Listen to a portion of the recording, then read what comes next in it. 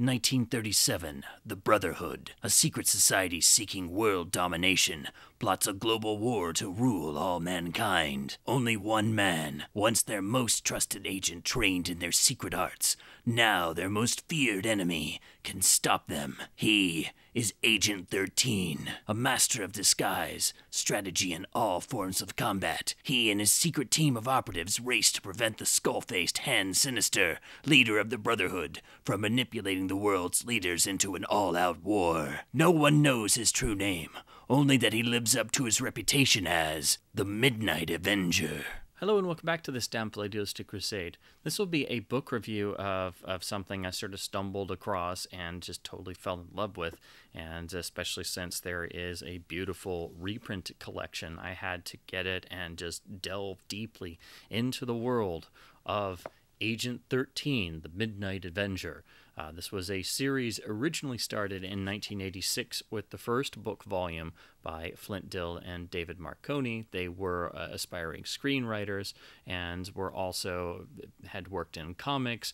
And uh, this sort of the idea germinated for doing a complete throwback to classic pulp adventures of pulp magazines, uh, something they wanted to make into a film and sort of pitched it around, and then uh, eventually decided when they had uh, had connections with the TSR company and were working on classic role playing games uh, to turn it into a role playing game and then write essentially the the book version of the story and then there was also a comic adaptation as well. So this original volume came out in 1986 the midnight avenger was followed by book two the serpentine assassin and then the final book in the trilogy uh, acolytes of darkness which itself is quite a rare book uh, i stumbled across this a little while ago in a used bookshop and the cover alone just screamed classic pulp adventure and it just looked too entertaining for words. So, of course, I started it and I simply could not put it down. This is without question uh, one of the absolute great pulp throwback adventures uh, of uh, you know of the past few decades. Uh, very much inspired, obviously, by the success had with Raiders of the Lost Ark and the rest of the Indiana Jones trilogy, but definitely something with its own unique uh, vibe and atmosphere. This is fully adhering to the classic pulp magazine stories, and it takes direct inspiration not just from Indiana Jones and some James Bond elements, but very, very heavily drawing from the classic Shadow, Spider, and Doc Savage pulps. Really, the sort of holy trinity, if you will, of the classic pulp adventure stories. And it does so in a way that is not simply repeating elements, it is a complete love letter to the classic pulp adventure stories and being a fan of, of all of these things already and a fan of the great 1990s pulp adventure throwback films, uh, including Dick Tracy and The Rocketeer and The Shadow and The Phantom, and a fan of all of those characters. Anyway, uh, it was really interesting and amazing to see somebody having done that but really going back to the source, showing their love for the classic pulp magazines, and translating that hard, tough, two fisted adventure style into something that was new, but constantly is giving a tip of the hat, a wink of the eye, and acknowledging how truly important the pulp adventure stories are to uh, pretty much every form and genre, but particularly to to comics. And you could tell the writers really had a love for this material. They completely came up with a new adventure of their own with its own unique identity that again you can recognize the references and the elements that are carried over from the classic characters but it is still its own unique thing so it's not constantly relying and falling back on the references. It uses them to pepper in to create this this world. So again, you are sucked in entirely by the first story, which ends on a total cliffhanger, and then you immediately want to jump to the second volume, and then that ends on a cliffhanger too, and then the third volume rounds out the trilogy. Uh, again, I, I, know the first book was adapted into a comic, which you can find, and uh, then you, there was the role playing game as well but I think it's still largely based around the trilogy of stories. Um, now, that I've read all three, I'm, I'm just finding myself wanting more because it's such a fun reading experience. So again, you do have to either track down the original books, which uh, they're they're not at least the first two books aren't super rare. They do turn up, but they will cost you about ten or twenty dollars for a nice paperback copy. I was, or if you were lucky like me, you'll stumble across one in a used bookshop, and that'll entice you into checking it out. However, the publisher Pulp 2.0 Press has done a really lovely and extremely affordable trilogy collection here in this nice thick trade paperback collection with brand new custom artwork, which is really nice and striking. Uh, this gives you all three books, which is really helpful because the third book, Acolytes of Darkness, is a very rare and expensive paperback. You would have to probably uh, buy a copy online from anywhere to 60 to 80 dollars or more just to finally complete the trilogy of stories. So you can get the first two books pretty easily for 10 to 20 dollars but the third one will cost you much more so you can get all three in this nice volume plus custom interviews and exclusive extras and brand new artwork and it only lists for 16.99 and it's a print on demand book but that is frequently on sale so i got this for actually slightly under $15 so again, it is print on demand, which means depending on where you get it from, uh, you know, it will have some some quirks and things. I got this from Barnes and Noble, and it's it's in pretty good shape, but it is a soft cover, so it's not hard cover. Again, this does have brand new exclusive extras, and it has new art inside. It has a little bit of art breaking up these stories, but it has interviews with the creators and the the writers, of course, uh, and it has an interview with the original editor at TSR and how the project even came to be and how it was done and put together. And it's also got an interview interview with the man who decided to turn it into an internet radio series. So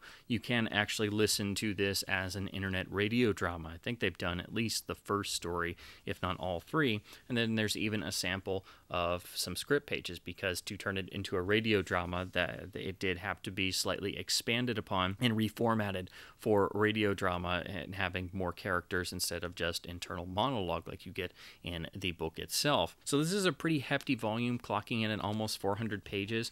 And, and another nice touch, uh, it does replicate the sort of style of a classic pulp magazine by having dual column pages. Now, the one downside of this, even though it's a great way to get all this material, have these nice bonuses, the custom art, uh, as is unfortunately common with a lot of these print on demand books from smaller independent publishers, uh, they don't always have the best proofreading in the world. So, unfortunately, there are a number of annoying typos in this. Um, it's not, it's not terrible. You can very much get what it's supposed to be, but it does happen with with enough frequency that you will notice it when reading.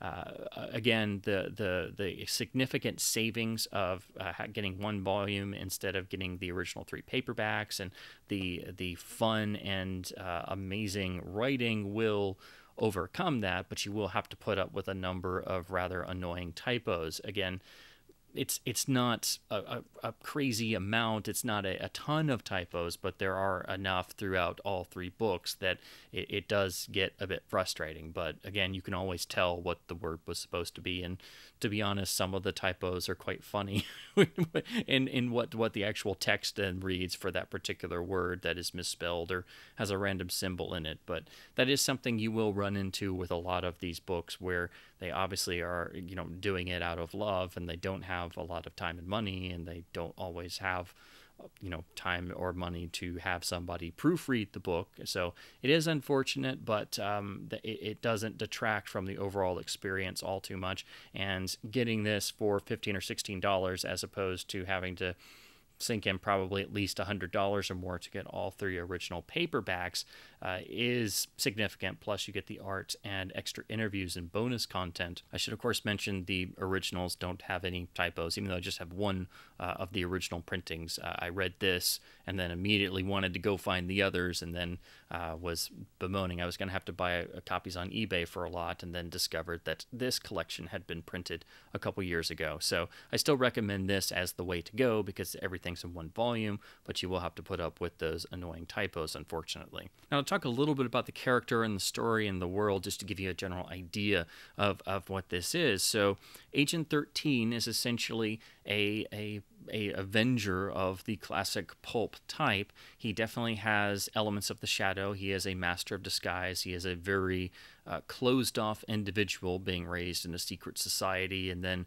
uh, eventually discovering that this secret society not only controls many aspects of the world in a background sort of way, but also is is being led with evil intentions, and then breaks away, barely survives, and turns his entire life into a one man army crusade for justice against the secret society of the Brotherhood. Uh, again, he is a master of disguise like the Shadow. He has various layers, almost like the Shadow Sanctum. He also has uh, attributes of the Spider. He has a, a, ring with a sort of magnesium flare that, uh, when he kills or, or stops enemies, he brands his personal 13 mark into their foreheads, like the Spider and the Spider's mark, or uh, Zorro carving the Z into the flesh of his enemies.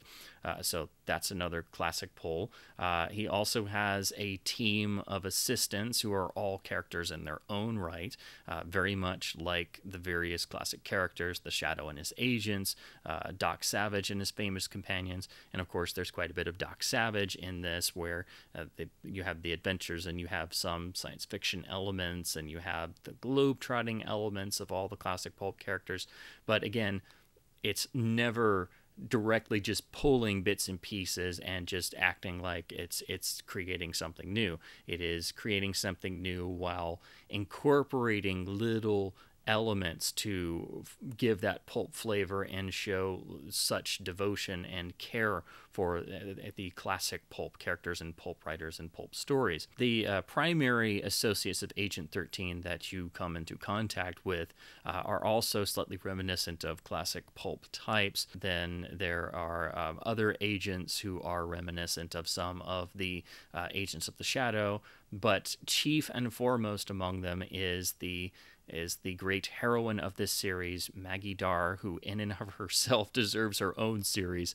Uh, she's perhaps uh, best described as uh, two parts Margot Lane, two parts Lois Lane, and two parts complete and total badass. so um, that that is the great joy of reading these. Not only do you have a great lead character with a great premise, but his girl Friday, his uh, his main companion is totally worth her weight in gold and can carry the load herself. She is not a damsel in distress. She has a really dark and gritty backstory that uh, gets her into the world of Agent 13. That is uh, a fantastic character background. Again, no punches are pulled in these. Uh, it is as dark and gritty as a classic 30s pulp adventure magazine story.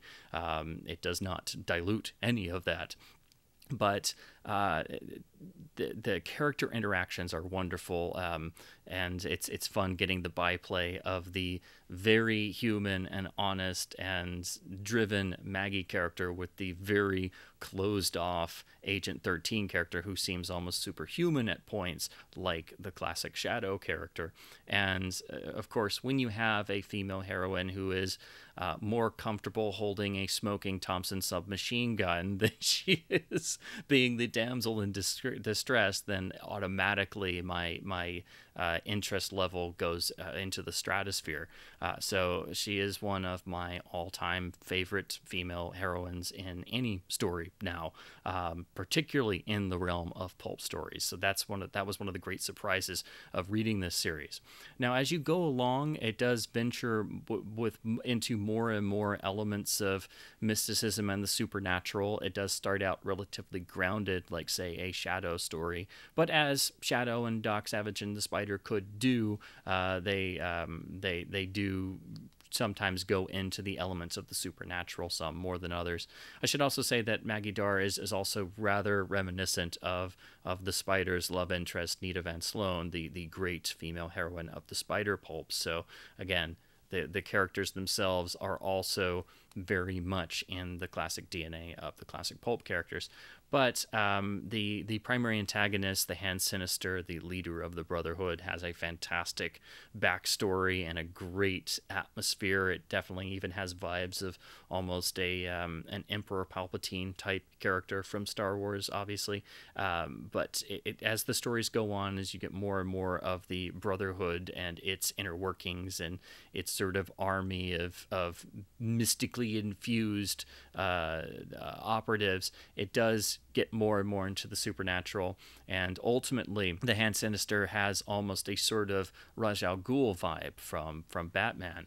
Uh, so that sort of semi immortal character who has lived through time and is uh, an almost unbeatable foe. You get that great sort of flavor. And of course, the stories have great amounts of globetrotting throughout. And just like the Indiana Jones films, they do interact with real things, places, and events in history. And so you, it's fun from a historical background. You get references to the Hindenburg, to the SS Normandie. Uh, they go all over Europe. They go to uh, New York and Washington, D.C. And again, there's great globetrotting throughout, but you also get that great historical vibe to it. So ultimately, I think this is one of the absolute greatest pulp throwback adventures that has ever been made. I think it is incredibly well written. It is so beautifully paced and full of great plot twists that uh, pay perfect homage to the classic pulp stories that uh, you can't really put it down and it is glorious fun. Uh, in fact i would be hard pressed to to be able to name a better pulp throwback adventure that has uh, existed post raiders of the lost ark. Uh, this is exceptional adventure storytelling. It has something for everyone, and it's it, each the first two books end on perfect cliffhangers that really draw you in to the next book, and it is a wonderful, fun reading experience. I would encourage anyone to check these out, and they are they are not uh, stories that pull punches. They definitely have a, a, nice significant body count to them. They do go into dark places and dark territory. Uh, there are some torture scenes, as there are in most classic adventure stories. Uh, so while they do have the sort of feel of a classic Republic adventure serial in ways, uh, like the indie films, they can go a bit darker. So they are great for children and adults, children who like classic adventures and are okay with a little bit of darkness for a more realistic flavor. So, I, I, again, I cannot recommend these highly enough, especially since you can get this complete trilogy volume for an, an absurdly cheap price of around $15. It's available on Amazon, Barnes & Noble, any online book retailer is, is, has this for sale pretty much. I think it's also available as an ebook if you're if you're a fan of reading on an e-reader instead. Uh, but it is, I think, without question, the best adventure you can have for fifteen dollars. I mean, it's it's amazing uh, and such great fun. So as as much as I, I love pulp throwbacks, I, I I can't really think of one that is a, a better executed experience overall than the Agent Thirteen series. This was an incredible surprise, so much fun, and I I cannot recommend this strongly enough. If you're needing something adventurous to read, if you want something fun to read again, please get a copy of this. It is absurdly cheap for 400 pages of pure pulp adventure and true fun. And featuring one of the best female heroines I have ever encountered. In fact, you could read this and you can picture the movie version in your head as you're reading it. It's that good. And in fact, apparently Universal, uh, back a number of years ago, in like 2012 or so, acquired the rights to this and uh, thought about making a feature version. Um, I'm really glad they didn't because they would have totally screwed it up. Um, I, I, I, I would love to see a film version of this at some point, an Agent 13 film. Uh, and basically, all you need to do is just shoot the damn book. Literally, just shoot it the way it is. Do not change a thing. Don't change a page. Don't change a word. Um, it would probably take, you know, three films to do each of the three stories, or you'd have to condense it somehow if you're doing a single film. But in any case, this is perfect as it is, and uh, if if you tried to rewrite it, you would most likely ruin it. And so I am very glad that they didn't do that, but I assume they still have the rights. But uh, if if anybody was to try and make a great adventure film, this would be a great place uh, to source from and just literally shoot the damn book as it is because it is that good. So that's why I wanted to talk about the Agent 13 series. Uh, again, this was a beautiful surprise, all because I decided to pick up the original book in a paperback bin when I was just drawn in by this beautiful cover artwork. So again, I think this is the best adventure you can have these days for $15. It's an amazing value. You will come back to this and reread it many, many times in the years to come. It is so much delirious fun, and it is a must for any fan of the classic pulp adventure stories, pulp characters, or even fans of just the Indiana Jones film series because this is the same shared DNA of love and affection for the iconic masterpieces that are the classic pulp adventure stories. So, if you're interested in these, or if you have fond memories of reading the Agent 13 stories in the past, I would love to hear your comments below.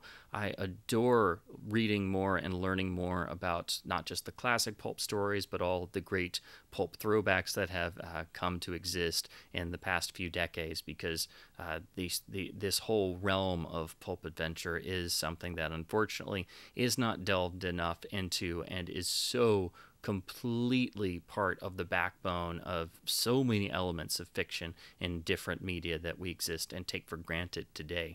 And in a lot of ways, it has never been done better than it was in the pulp era. So uh, I was just blown away by how much fun and how well written these stories were. And that's why I wanted to talk about them some and try and hopefully encourage other people to check the uh, check the books out for yourself and get the word out about this incredibly wonderful book trilogy. especially since you can now get them in this complete deluxe volume for such an inexpensive price. I think this belongs on anyone's bookshelf who loves adventure stories. So that's it for this particular video again, I just wanted to get the word out about Agent 13. And if you have uh, any memories of this series or this sounds interesting, I would love to hear your comments below. And I would just like to say, as always, definitely keep buying physical print books, keep reading books, keep reading, period. And thanks ever so much for watching.